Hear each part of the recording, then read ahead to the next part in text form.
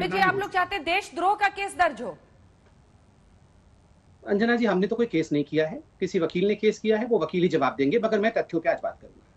देखिए अंजना जी कल हमारे आदरणीय अध्यक्ष नड्डा जी के ऊपर बी एल संतोष जी के ऊपर स्मृति ईरानी जी के ऊपर स्वयं मेरे ऊपर भी इन्होंने जाके एक कंप्लेंट किया और एफआईआर की डिमांड की है तुगलक लेन पुलिस स्टेशन आप उसका प्रति लाइए, उसमें चार पन्नों का एक चिट्ठी है मतलब चार पन्नों का जो हमने ट्वीट किया था, उस पूरे को फेक बताते हुए, मेरे प्रेस कॉन्फ्रेंस को फेक बताते हुए उन्होंने एफआईआर की डिमांड की। अब आश्चर्य का विषय है, उसमें जो चार पन्ने दिखाए गए हैं, उसमें एक पन्ना सेंट्रल विस्ता वाला भी है, जो मैंने आज खुलासा किया है।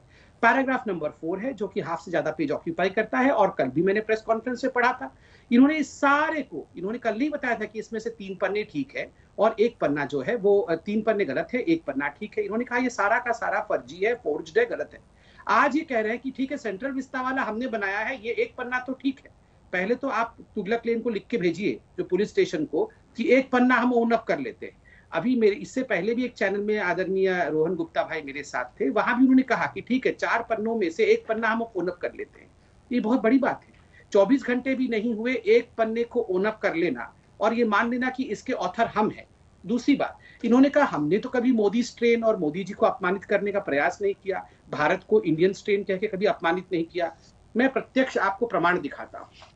आज से दस दिन पहले का राहुल गांधी जी का tweet the Movid the Movid pandemic इस पैंडेमिक के नाम को राहुल गांधी जी ने मोविड रखा। कोविड पूरी दुनिया बुलाती है, राहुल गांधी जी ने इसे मोविड बुलाया। मतलब बस सोचिए मतलब पूरे विश्व में वो, और एक ग्राफ भी दिखाया कि विश्व में कैसे इंडिया में ग्राफ बढ़ रहा है। पूरे विश्व को चुनौती थी कि आप कोविड मत बुलाइए, इसे मोविड बुलाइए। दूसरा, राहुल गांधी जी का दूसरा ट्वीट आप देखिए। राहुल गांधी जी का दूसरा ट्वीट ये, यह भी आज से पंद्रह दिन पहले का है। उसमें वो लिखते हैं कि Indian corona virus variant reaches Switzerland Indian corona virus variant Shashi Tharoor ji का ट्वीट है। क्या ट्वीट है? When people speak of a double mutation of the Indian variant of the virus खुद आप देख सकते हैं और इंडियन वेरिएंट को उन्होंने एकदम वेरिएंट को उन्होंने एकदम ब्लॉक पे लिखा हुआ है। और कांग्रेस की एक जानी मानी चेहरा सोनिया फेलेरियो ये बेटी है एक कांग्रेस की एमपी की। उन्होंने क्या लिखा? I have name the so called Indian variant the Modi variant in honour of the person who most directly is responsible for it and also because the PM likes to name things after himself. और ऐसे में दस और tweet दिखा सकता हूँ जिसमें Modi variant Indian variant Congress के लोग और उनके परिफरी के लोगों ने ट्वीट किया हुआ है। ये तो प्रत्यक्ष में आपके सामने प्रस्तुत कर रहा हूँ।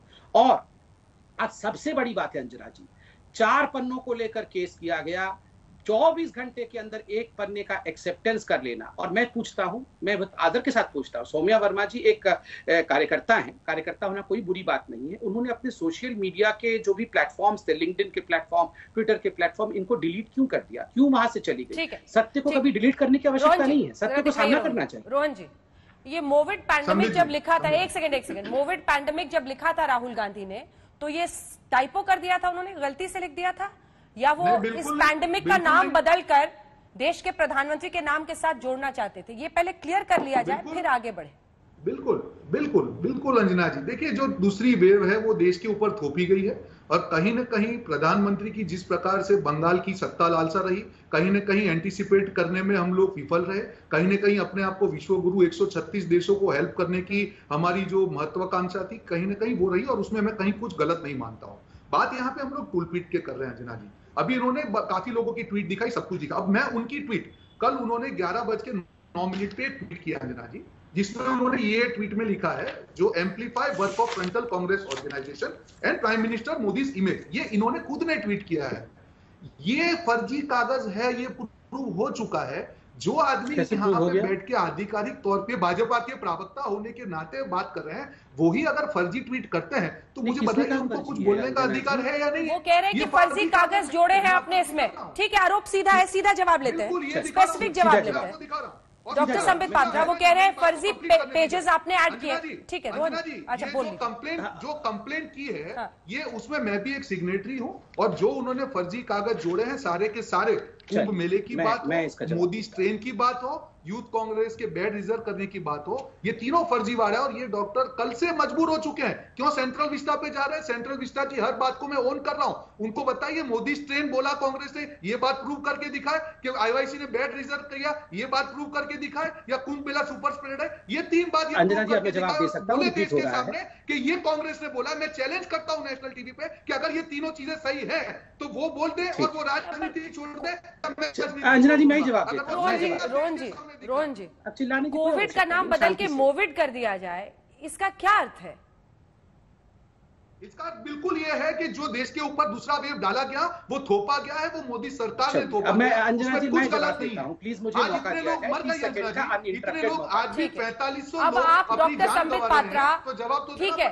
क्या आप लोगों ने फर्जी पेपर्स उसमें ऐड किए? सवाल नंबर एक। सवाल नंबर दो आपके तमाम मंत्री सर टूल किट पर धड़ाधड़ ट्वीट कर रहे हैं। लेकिन समस्या देश के सामने ये टूल किट से भी बड़ी वो है जो अस्पतालों में जंग लड़ी जा रही है। इतने मंत्री सर आपकर कोविड पर लिखते हैं। इतनी बड़ी मुश्किल से देश गुजर रहा है। क्या इन्वॉल्वमेंट है? वही सोशल मीडिया का इस्तेमाल tool kit tool kit tool kit tool kit पर पूरी कहानी हर मंत्री देश का आपको बताएगा। मैं इसका जवाब देता हूँ। अंजना जी पहला प्रश्न है कि क्या हमने फर्जी पेपर जोड़े? कल तक तो सारे पेपर फर्जी थे। आज एक पेपर उसमें सही है, बाकी जुड़ गए हैं। इन्होंने जो चिट्ठी लिखा है, तुगलक लेन पुलिस थाने को, उसमें लिखा हुआ है क्या? कि हमने फर्जी पेपर जोड़े हैं, नहीं लिखा हुआ है, मैंने पढ़ा है। उसमें लिखा हुआ है, ये सारे कागज़ फर्जी हैं। कल जो मैंने नौ मिनट का प्रेस कॉन्फ्रेंस किया था, जिसमें मैंने एक मिनट एक पेपर के बारे में बात किया था, इन्होंने कहा था, पूरा प्रेस कॉन्फ्रेंस फर्जी है, ये तो सारा फेक है। कल तो नहीं कह रहे थे कि कुछ कुछ चीज़ें इसमें सही है।